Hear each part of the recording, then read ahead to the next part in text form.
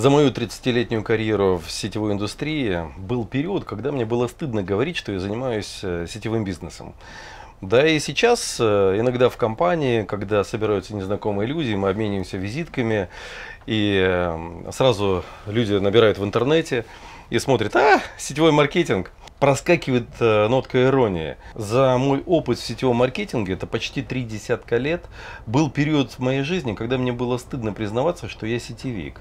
Э, слава богу, этот период прошел, я сейчас твердо знаю, что я принял в свое время правильное решение, потому что если бы я тогда не принял решение, я бы сейчас работал бы в каком-то банке, каждый день ходил бы на работы, возможно бы стал топ-менеджером, достиг э, потолка карьеры, получал бы какой-то фиксированный оклад, от кого-то бы зависел и боялся за потерю своего места. Сейчас я миллионер, я езжу по всему миру, реализую свои мечты, обеспечиваю свою семью, я абсолютно свободен и я счастлив. Мне сейчас даже страшно представить, кем бы я стал, чтобы со мной было, если бы я тогда принял близко к сердцу мнение, вот это ироничное мнение того моего окружения.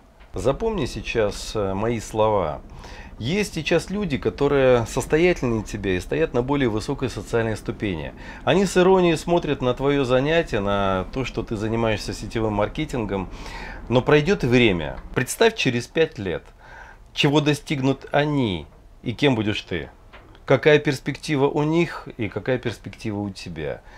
Они максимум вырастут на одну-две ступени, работая по найму или чуть-чуть расширить свой бизнес, а через пять лет ты станешь миллионером. Ты будешь с улыбкой, с высоты своего успеха на них смотреть сверху вниз.